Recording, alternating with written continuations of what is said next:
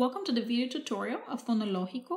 My name is Barbara Fernandez. I am a bilingual speech pathologist and I want to show you how Fonológico can help children that have speech sound disorders practice their sounds within words and phrases.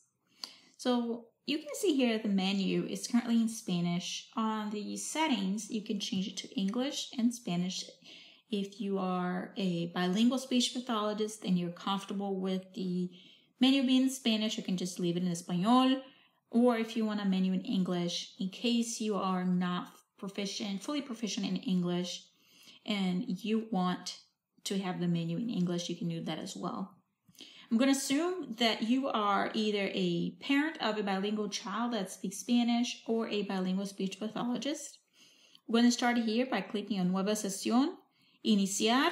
Puedes ver aquí que tengo tres niños and we're gonna click and you can do either one session with uh, multiple students or you can do a session with just one child. If you ever need to edit the name or delete the student, just click on that yellow button next to the child's name and you can either delete, borrar, or you can edit the name. I'm going to go ahead and select uh, two players. Ahora vamos a seleccionar un foneo. You can see we can do for Barbara, we can do uh, P's and B's in the initial position. Y aquí está la lista de palabras. Si quieres, puedes nomás poner cosas que tienen una o dos sílabas o seleccionar todas. Now, for John, we can do uh, los R's y hacer lo mismo. Puedes poner más de una posición clicar OK. Y ahí tenemos tres actividades. Tarjeta, juego de correspondencias y adivina qué es. I'm going to select in tarjetas. Pasa. Y aquí también tenemos frases. Me gusta la pasa de uva. En, aquí en el área de control puedes marcar si está correcto, aproximado o incorrecto. Y también puedes tomar notas. Peló las papas. Uso el peine. Puedes grabar la voz del niño diciendo uso el peine y escuchar de nuevo. Peine. Peluca. Bailar. Y puedes cambiar el niño. Por ejemplo, estábamos con Bárbara and now we're gonna do John. Oro. Tambor. Frijoles. Cuando ya termine la sesión, aprieta y segura el botón de OK. Now we're going to see the results.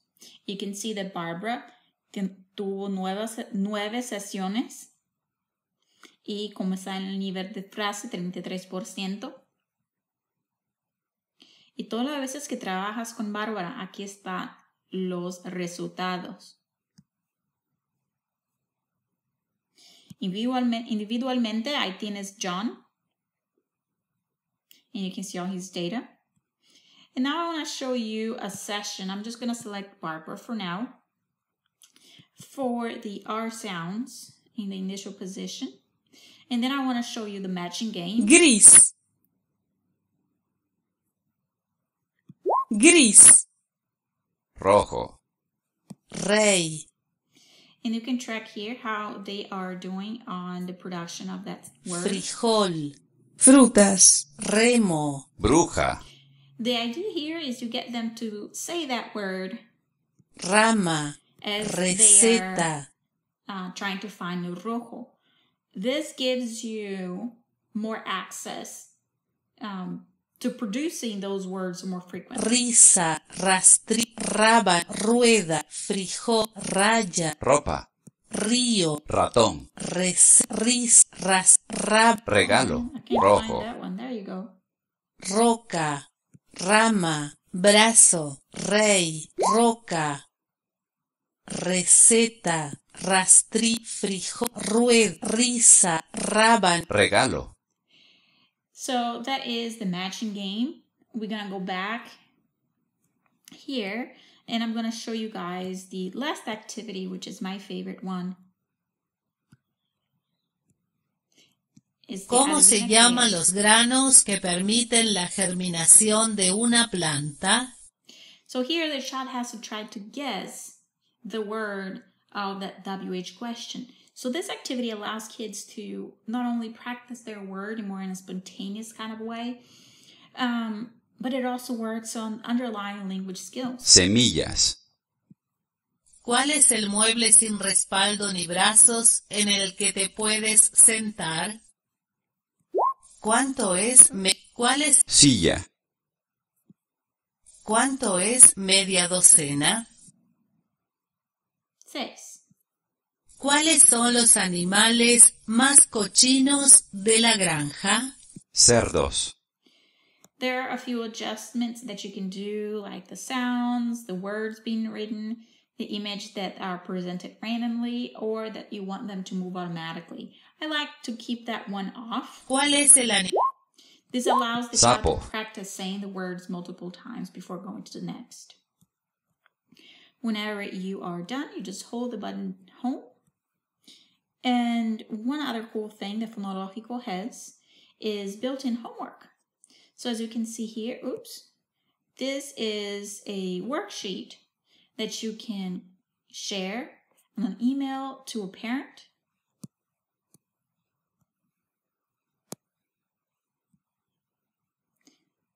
And if we go here to the settings, you can see that you can actually add custom words. You can take a photo. So for example, my son's name is Victor.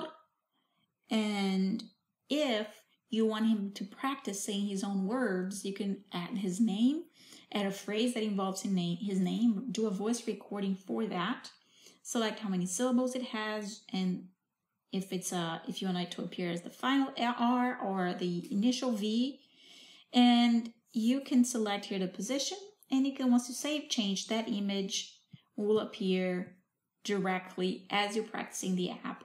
So it gives you a lot of customizations for each individual child. That was it for today. Thank you so much for watching the video tutorial Fonologico. You can download Fonologico for iPads and also for iPhones.